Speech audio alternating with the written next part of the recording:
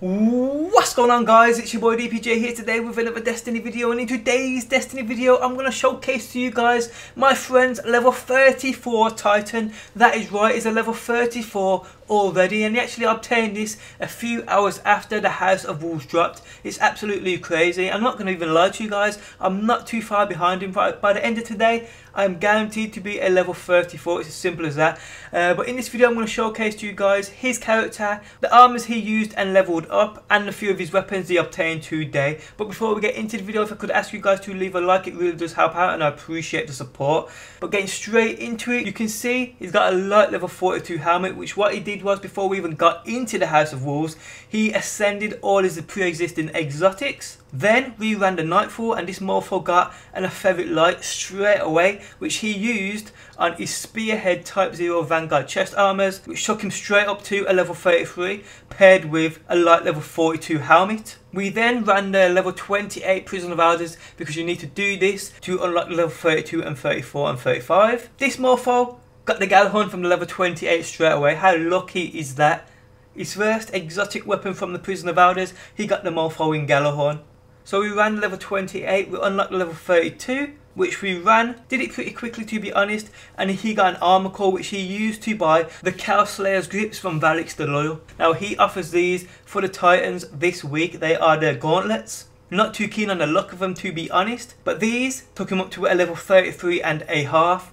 We then sweated the level 34 Prison of Elders, and I mean sweated. We was on room 5 for literally about an hour, we just couldn't couldn't grasp what we needed to do to defeat that giant knight who kept burning the fucking floor. We had to keep jumping, it was crazy. But we got there in the end because I clutched it like a boss and that video will come on my channel pretty soon. So for completing the level 34 Prison of Elders, we were rewarded an Etheric Light which he used to upgrade his Forceful Greave leg armors, taking him to a light level 34. And that's basically how we did it in the first day, within the first few hours. A Nightfall, couple of Prison of Elders, and an armor core. It's as simple as that. Now the weapons he's got, you can see he has the Wolf Slayer's Claw, which he brought from Variks the Loyal also, because when you complete the level 34 Prison of Elders, you get an armor core and a weapon core. He used the weapon core to buy this weapon. You can also see as well he's got the Violator 12, which is a new Monarchy Sniper Rifle, one I'm going to buy today. He got this from a package, the lucky son of a bitch and then you can see his Gjallarhorn, the 365 attack version which he got from the level 28 Prison of Elders. But yep guys, that is it. That is my mate's level 34 Titan, which he reached in a few hours. Now, in my personal opinion, I would say it's a little easy for people to reach that light level 34 already, but I'm sure Bungie had this planned. I mean, they've made it quite easy, and I'm sure this was their plan,